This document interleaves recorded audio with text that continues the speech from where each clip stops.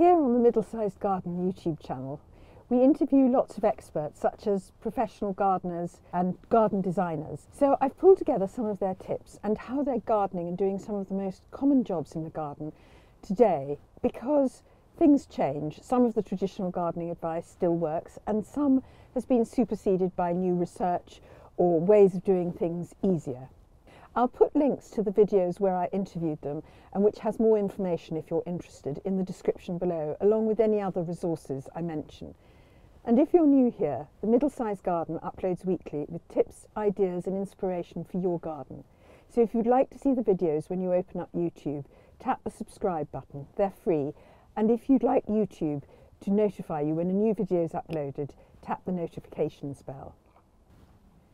At the beginning of the gardening year, as winter draws to an end, perhaps we think about sowing seeds first, but there are a couple of jobs that sometimes get left to later, which should be done earlier. And the number one of these jobs is tackling slugs and snails.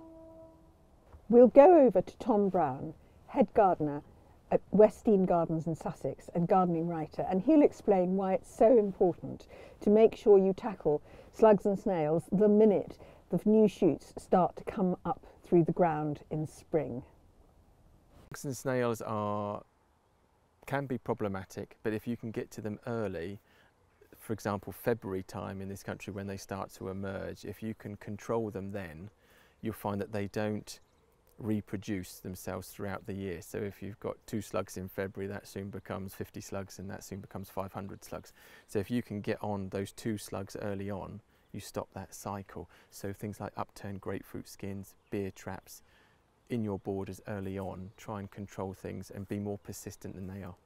And so you put the upturned grapefruit skins and the beer traps and then you go and fish them out and, and throw them away. Do you use also organic slug pellets at that time at all? You can, and if people use um, organic slug pellets that are sort of pet and, and child friendly, don't feel that you've got to mulch the border with slug pellets. Um, three or four slug pellets per square metre and the way I've sort of used them in the past is to put a, a stone and a, a, roofing tile and then put a few pellets underneath the roofing tile. So the slugs will then um, find refuge there during the day and you've got a few pellets there which will deal with it rather than creating a, a blue mulch. And, and people can make the, the choices, but there are organic, pet friendly ones available now.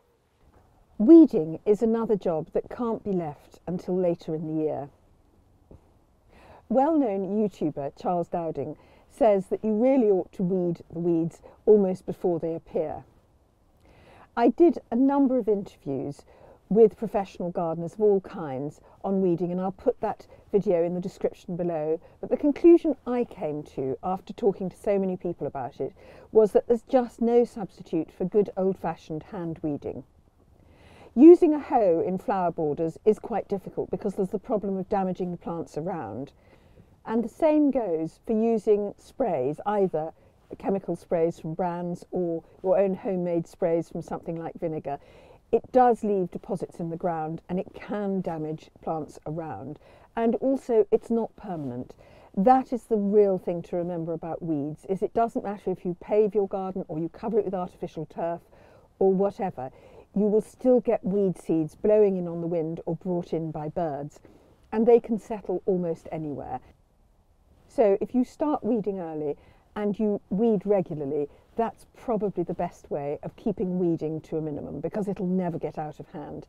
And I really wish that I took my own advice on this one because I'm always leaving it too late.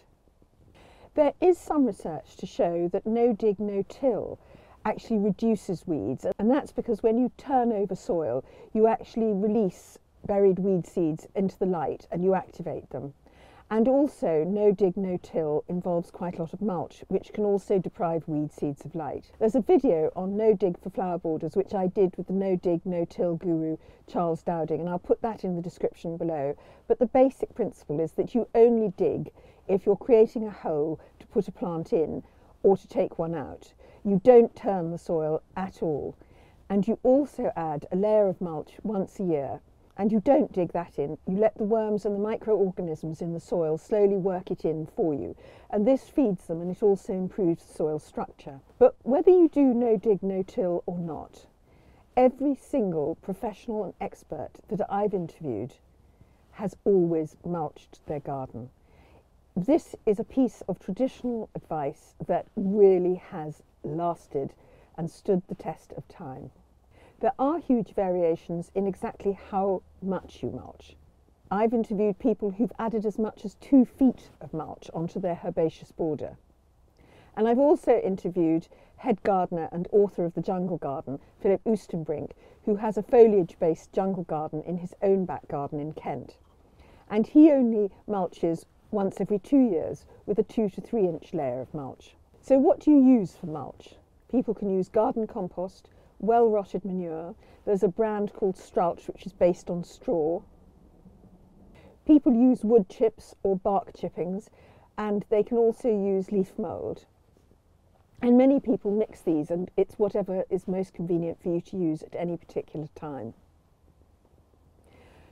Looking at all the different ways people have mulched, I also think that if you want very high performance, either from your flowers or your vegetables, then that's when you'll be using the thicker layers of mulch. But if you've got a largely foliage based garden like Philip Oostenbrink's jungle garden, where there are relatively few flowers, then perhaps that's why he's able to get away with mulching a bit less than somebody who's got a really thick flower border. So, as spring continues, it's time to think about what flowers you're going to have in your garden over spring, summer, and autumn. And it may seem bizarre to think that sometimes flowers and gardens actually aren't considered as going together. But there has been a change over the last few years in how many flowers people want in their gardens.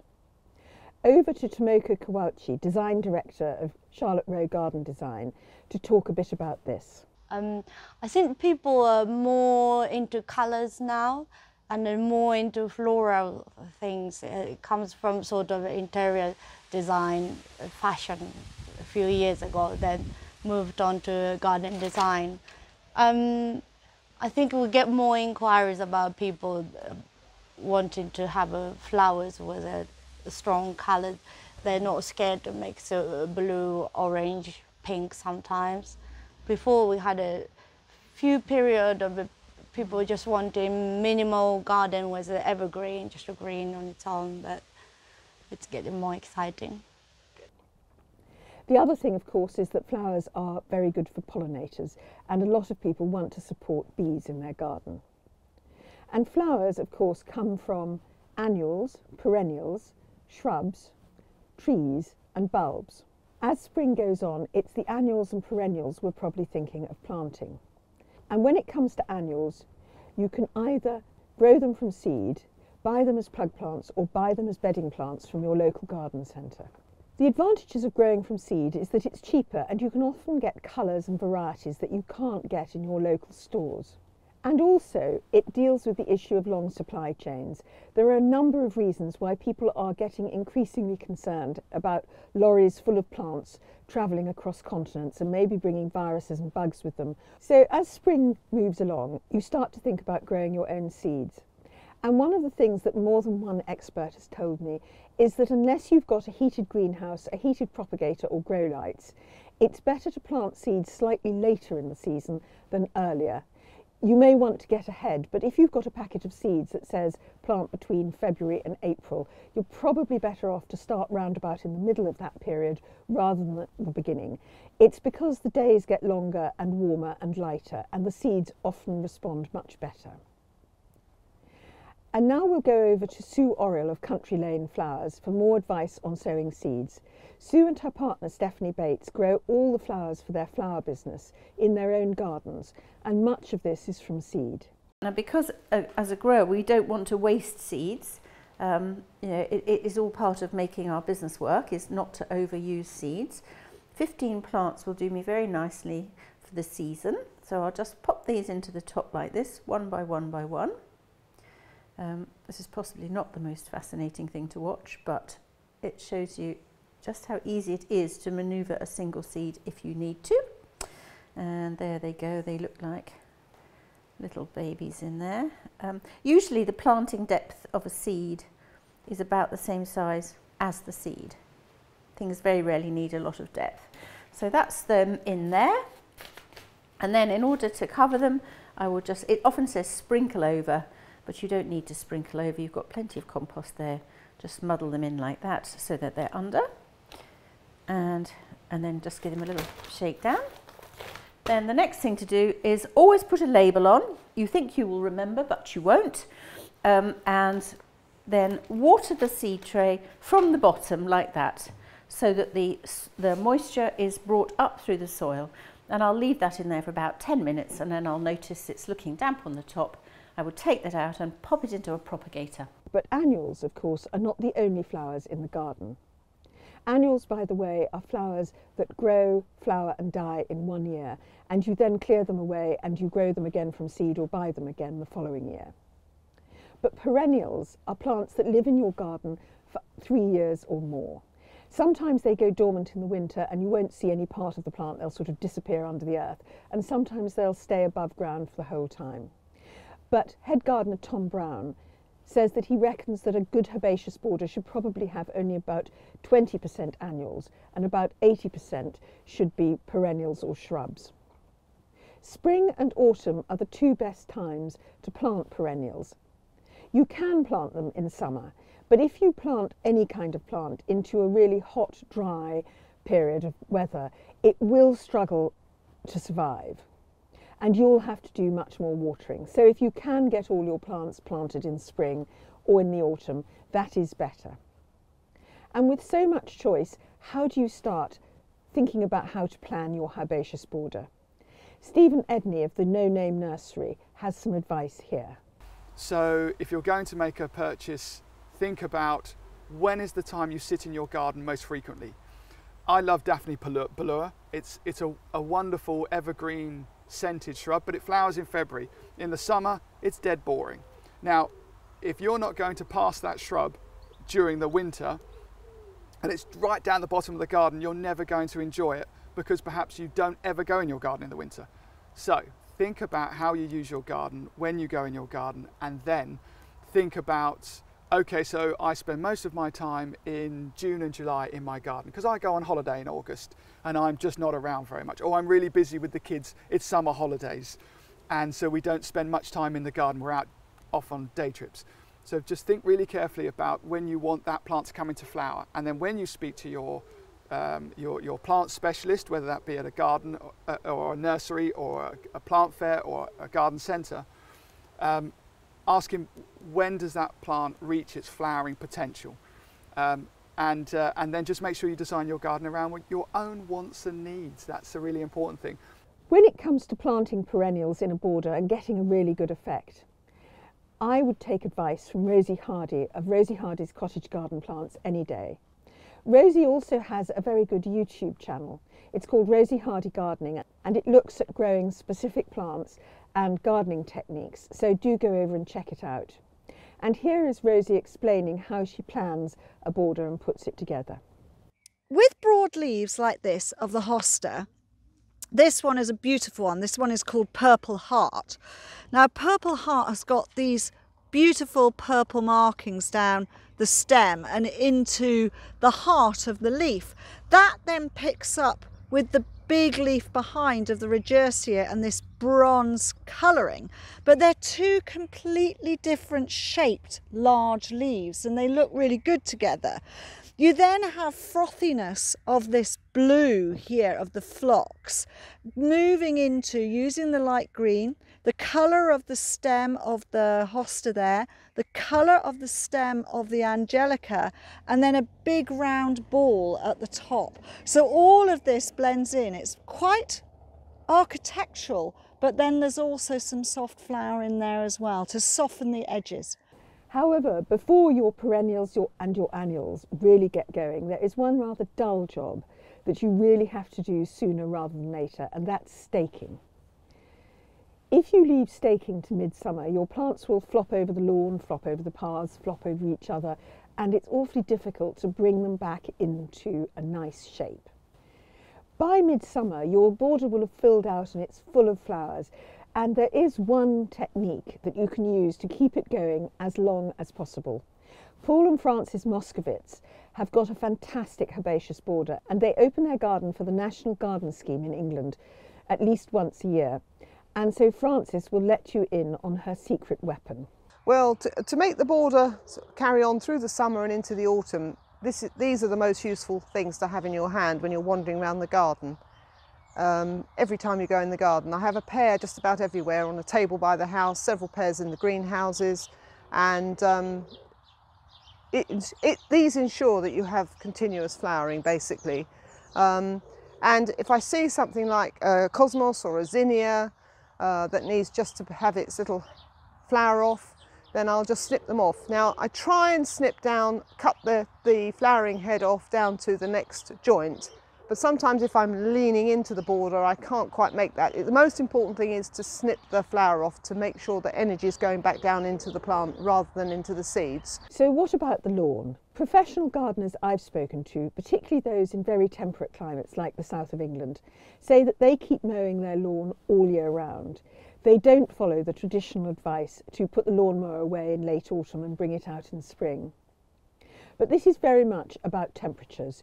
If your winter temperatures are regularly 5 degrees Celsius, 40-ish Fahrenheit during the day and with relatively few frosts, then your lawn and indeed your weeds will keep on growing.